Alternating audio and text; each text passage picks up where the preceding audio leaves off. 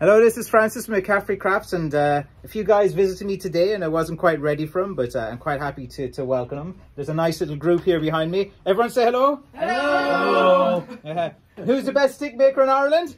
Francis. Francis McCaffrey. Oh, you can do better than that. Francis McCaffrey. I feel like I'm at a panto now or something. yeah, so uh, so tell me guys, uh, where where are you guys from? We're all the way from outside of Orlando, Oh, okay, Florida, in the U.S.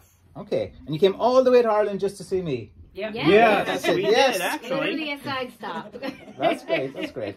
Okay, and uh, it's great that you're kind of come now and look. Uh, the world, Ireland is open. We have no mask mandate. Uh, everything is here. I want to all you guys watching in America and Canada and Australian places to say, look, you got to come to Ireland and, and check out McCaffrey Crafts, and uh, you know it's it's great. It's well worth the wait. exactly, well worth the wait. But uh, it's it's great. tours. Oh yes, yes. Wait, wait, come here. The vagabond tours will take Yeah. you to the side one. Yeah. Come here, we gotta do a shameless promotion. Come here, come here. No, no, no, stand so next to us. Come on, don't be shy. over here. All right, you got you got to hold my product then. And, so uh, we have here a tour operator called uh, Vagabond Tours.